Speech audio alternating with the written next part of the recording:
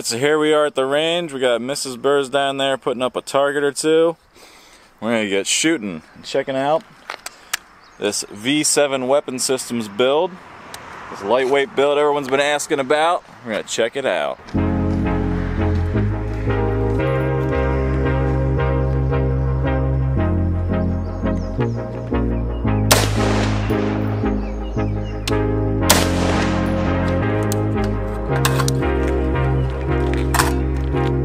First fires work perfect.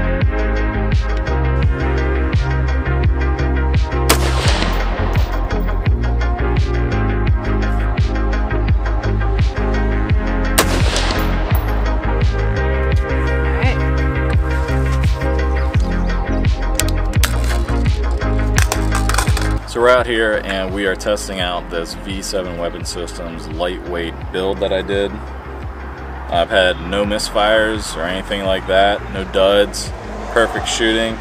This lower is the lower that we used on the SPR build. I'm actually going to be getting rid of my upper, uh, the SPR upper, and uh, I'm going to be um, using this upper on this lower and just using this 14 and a half pin to 16 setup for SPR shooting. So that's why I have this Kinetic Development Group mount on the scope, the 3x9 uh, SWFA Super Sniper scope here. That's why I have this Kinetic Development Group uh, mount on here so I can take it on and off as needed. But no, everything worked out well.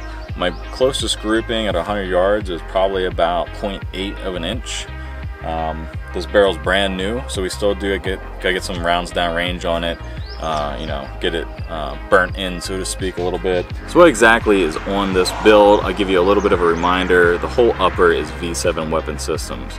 So these are all their lightweight uh, upper, their magnesium, ultra light rail, their one in seven twist um, match barrel that's fluted to save a little bit of weight. And I have a OSS Banner Alpha 1 muzzle device on here. I have a titanium bolt carrier group by V7 Weapon Systems. So this entire upper is V7 Weapon Systems. Radian Weapons charging handle, this is their lightweight version. And I got a B5 Bravo stock. And the lower is actually a Bean Firearms, which they're not around anymore, but I have their billet lower and their uh, trigger, their match trigger, and I have Badger Ordnance lightweight lower parts on this build. So what I have for accessories is I have this Cloud Defense tape switch holder and I have a Surefire uh, scout light with an Arisaka Defense mount and um, you know Magpul Metal Pro, these are their Pro backup sights and I'm rocking Kinetic Development Group mounts for the Aimpoint and for the 3x9 scope. So I have their one-third co-witness for my Aimpoint T1, which is my original T1 I've had for my entire life.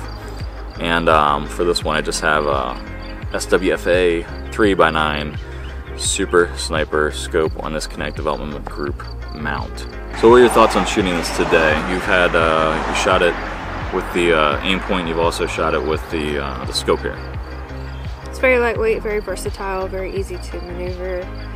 Um, once you get familiar with where everything is located on, and you're confident in what you're doing, it's easy to just move on through, focus, and get on target and stay steady. So you guys will see this build and many other videos down the road. I'm going to actually grab some grass over here and put it on here and put a different color because I, I want to have a third color on here. I'm not sure. It's probably going to be a darker green.